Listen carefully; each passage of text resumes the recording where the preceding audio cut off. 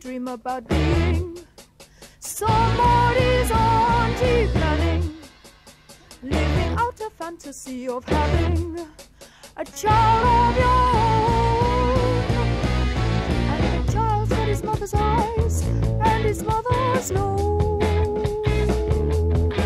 He's got the same dimple smile as his granddad.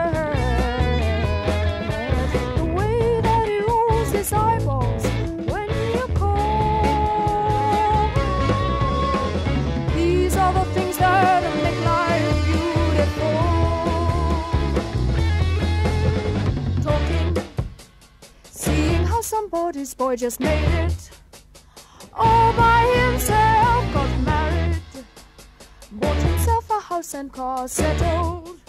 He's doing quite nicely. And the little baby boy's got his mother's eyes and her nose.